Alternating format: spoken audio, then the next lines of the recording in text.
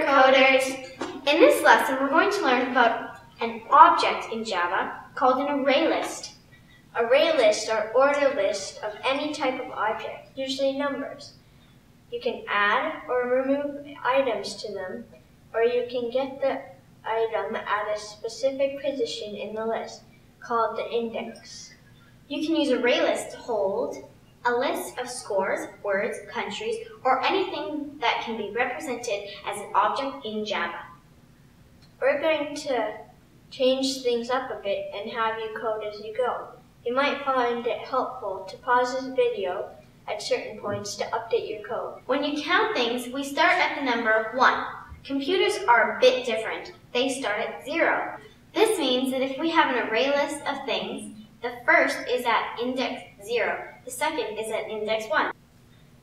When we create an array list, it by default contains 10 items. You can change this to almost any number you like.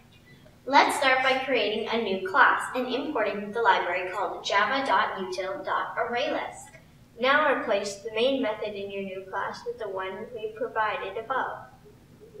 You can copy and paste it into your code. We'll start by creating an array list that holds 10 countries. This is done by this line of code. This code is familiar, even though it looks a bit weird. It's just another variable, declaration, and initialize.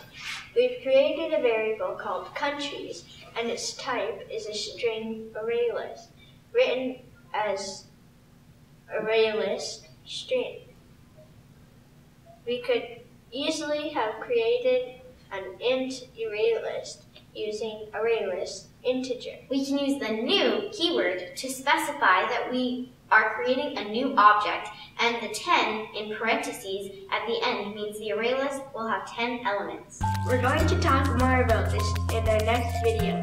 See you then. Bye, supercoders!